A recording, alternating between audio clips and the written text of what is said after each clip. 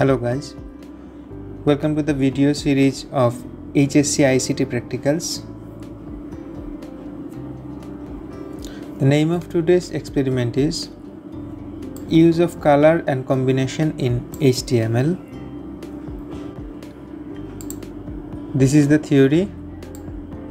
Colors are very important to give a good look, diversity and attractiveness to a website. Okay. HTML colors are specified with predefined color names or RGB or hexadecimal color codes. And there are other procedures also. These are the equipments same as previous works an operating system an application software to edit HTML codes, notepad or any other HTML editor, browser to run the HTML codes Google Chrome, Mozilla Firefox, any of the browsers. Okay, this is the procedure. First, we have to press the Windows button and search for Notepad, and then write the HTML codes. Let's start. Going to the Windows button, searching for Notepad, hit enter now this is the editor we will use to write code. I have done it earlier. Let's do not kill your time. This is the code. And let me show you the output of the code. Okay this is the output window. The browser. Okay see? This is the HTML code to define the HTML properties. Okay this is the body tag. And here we have used style attribute. And in this we have set the background color as powder blue. This is the powder blue color. Now if we change this color to pink see what happened. Save it and reload the page. See the page color will be changed to pink. There is written background colors can be set using color name. This is the color name and RGB color codes and also with hexadecimal color codes. Okay. This is RGB color code and this is hexadecimal color code. Okay let's check the first division of the code. Okay. This one. This line. Okay see? Here we have chosen background color as RGB 255 comma 0 comma 0 that means this means red color. Okay?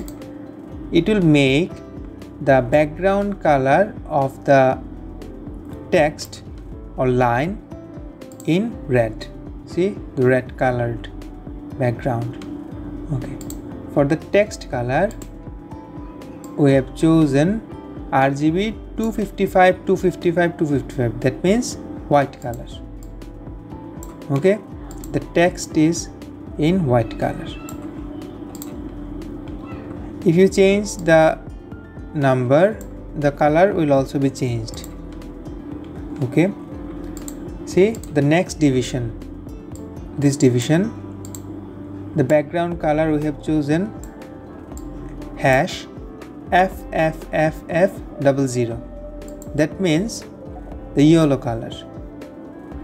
If we make it to this save it and reload it it will be in white color okay?